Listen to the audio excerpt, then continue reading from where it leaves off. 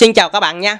Thì trong video này mình sẽ hướng dẫn cho các bạn cách đăng nhập Roblox VNG hay là cách đăng nhập vào Roblox VNG Rồi bây giờ thì mình sẽ tiến hành hướng dẫn cho các bạn luôn. Bước đầu tiên á thì các bạn vào cho mình cái ứng dụng Roblox VNG này.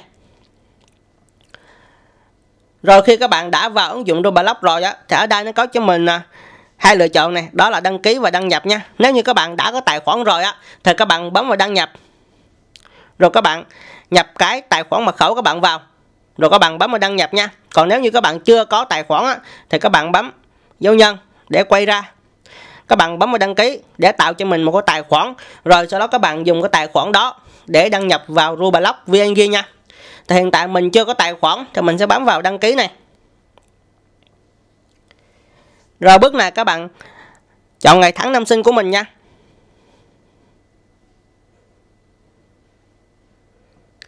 Rồi thì sau khi mình đã chọn ngày tháng năm sinh xong, bước tiếp theo các bạn bấm vào xác nhận ngày sinh. Tên người dùng không dùng tên thật của bạn này. Rồi bước này các bạn đặt một cái tên người dùng nha. Cái tên đây cũng chính là cái tên tài khoản để đăng nhập vào Roblox.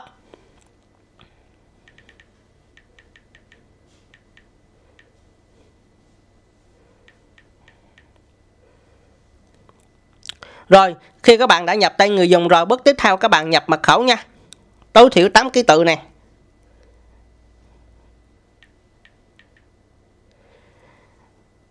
Rồi các bạn có thể bấm vào cái biểu tượng con mắt ở bên mật khẩu này để xem lại cái mật khẩu của mình nha. Rồi sau đó các bạn chọn giới tính. Ở đây là giới tính nữ. Còn bên đây là giới tính nam nha mình giới tính nam thì mình chọn vào giới tính nam. Rồi bước tiếp theo các bạn bấm vào đăng ký. Điều khoản sử dụng này, thì bước này các bạn bấm vào cái ô đây.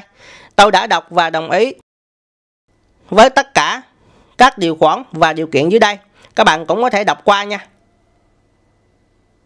Các bạn bấm vào để xem này. Rồi, bây giờ mình bấm vào đồng ý luôn.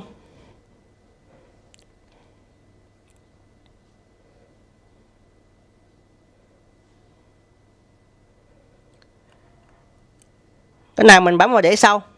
Rồi vậy là mình đã đăng nhập Roblox VNG thành công nha. Đó. Rồi bây giờ mình sẽ đăng xuất ra và đăng nhập lại. Mình bấm vào cái mục ba chấm này. Cái mục thêm. Ở góc dưới bên phải màn hình này, sau đó mình kéo xuống. Mình bấm vào đăng xuất rồi bước tiếp theo mình bấm vào bỏ qua, vẫn đăng xuất rồi bước này mình bấm vào đăng nhập này để đăng nhập cái tài khoản mật khẩu mình vừa đăng ký nha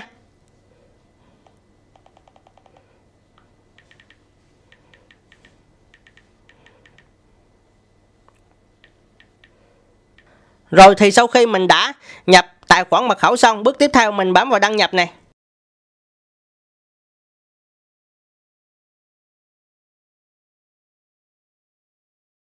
Đó, vậy là mình đã đăng nhập thành công nha.